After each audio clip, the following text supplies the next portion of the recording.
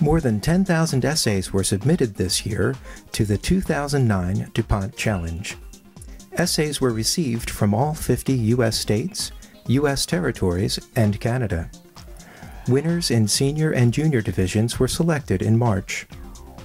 In addition to receiving awards in the form of U.S. savings bonds, the top six winners of the DuPont Challenge won an expenses paid trip in April to a Walt Disney World resort in Orlando, Florida, and a tour of NASA's Kennedy Space Center in Cape Canaveral.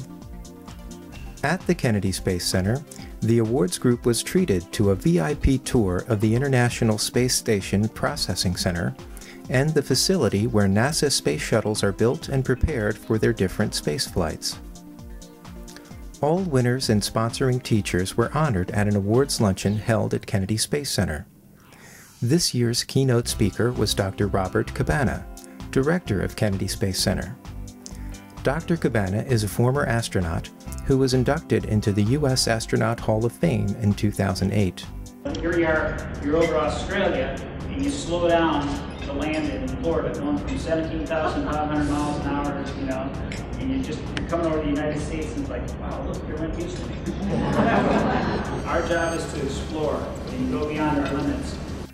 While in Florida, the awards winners, along with their sponsoring teacher and accompanying parent, stayed at a Walt Disney World resort and enjoyed free admission to all of the Disney World theme parks and water parks.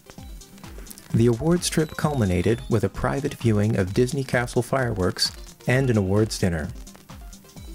Closing remarks were given by Dr. Roger Siemionko, DuPont Vice President of Technology, Safety, and Protection.